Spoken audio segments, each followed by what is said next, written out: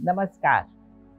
Menstruation is monthly shedding of the lining of woman's uterus. But sometimes, due to imbalance in the hormones of a wrong lifestyle, some face certain menstrual disorders. Today, we are going to discuss one such disorder which is very common in ladies, and that is heavy menstruation.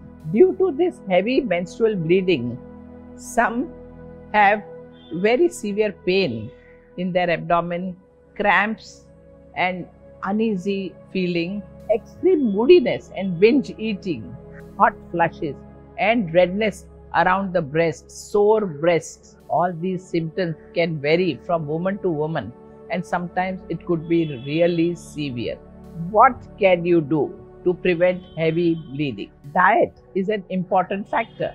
Addition of fresh fruits into your dietary routine is highly recommended, especially for the first 5 to 7 days during period. You can add fruits such as grapes, oranges, apples, pears, peaches, pineapples and melons. Have a bowl of fruits once or twice in a day. The bowels should be cleared daily, once or even twice in a day by drinking a warm water right in the morning. Following are the superfoods that should be consumed in the case of menstrual issues. First, dates.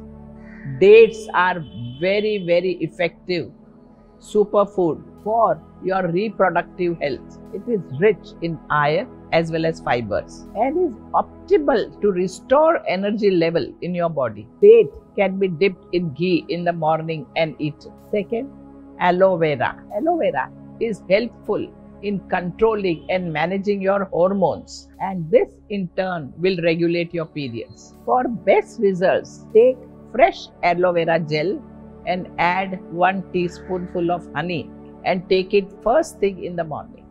Third, turmeric. Turmeric has many medicinal properties and it should be consumed to regulate the periods. Person must take a cup of hot milk with haldi that is turmeric and a spoon of honey at night before going to bed.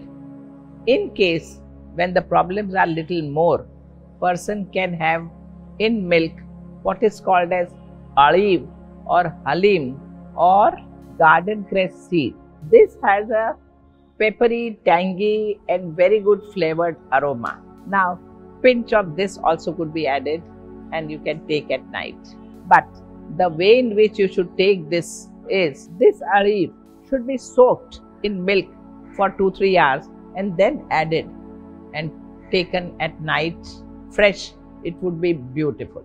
This is beneficial in curing period cramps and adding halim would really help in cystic acne too. Herbs like ginger, cinnamon and cloves could be taken in the morning as a tea. A woman should see that the nutrition in the body is perfect and that's why person must consume millets, jowar, bajra and such products, lentils, like varieties of dals, milk and milk products, and varieties of vegetables, including root vegetables too. Fourth, seed cycling. The first 14 days of your menstrual cycle makes up the follicular phase, while the following 14 days makes up the luteal phase. So understand this very well.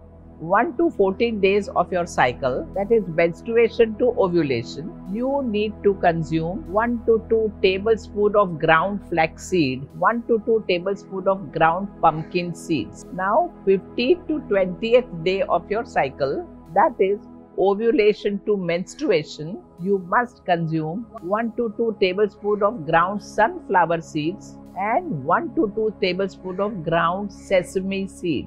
During this phase of menstruation, calcium level goes down as well as iron level, hemoglobin level also goes down.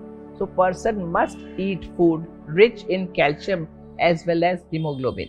During this time, a woman should avoid heavy activity and exercises. Fifth point, yoga techniques. Certain yoga asanas to normalize menstruations are Bhadrasan, sup as well as sitting, Paryankasan, Vajrasan or any other meditative pose, Matsyasan, abdominal breathing, and Bhramari Pranayam. These are all beneficial. When you have heavy breathing, rest and only rest is required. No heavy activities should be performed. These asanas should help during periods to reduce heavy bleeding. Certain asanas like lying down in Bhadrasan position and relaxing or sitting in Vajrasan and bending forward when person has lots of cramps. It really helps. It is called as Shashankasana. Stay and relax in this position. Similarly, lie down on the stomach in Makarasana position. That helps. Use of hot water bag on your abdomen really works wonders. And sitting and doing Bhramari Pranayam. Pranayam number four.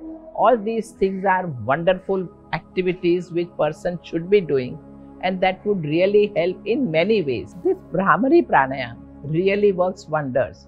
Mood swings are very common among ladies. Some ladies they get into emotional trauma. I would always recommend that these ladies should as far as possible keep mum. They should not get involved in arguments or any other activities. They should conserve their energy. They should keep silent. They should meditate, do Bhramari Pranayam, do Pranayam number four, and rest. Sleep well, and that would really help them. They would not have cramps on one side, and mood swing would be handled very well. So try and take charge of yourself do things which are really useful for you because it's ultimately you who is suffering.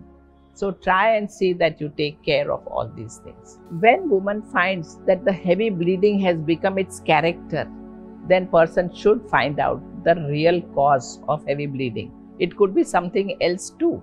And it needs to be treated specifically. A woman must use all these things to help herself. One thing more a woman can do that if the periods are very heavy, person 10 days before period should try and do what is called as hip bath. A woman should do hip bath so that a woman will be able to regulate periods very well. Understand? Do you think we have to suffer every month like this with cramps and heavy bleeding and mood swings and hormonal imbalances? Not at all.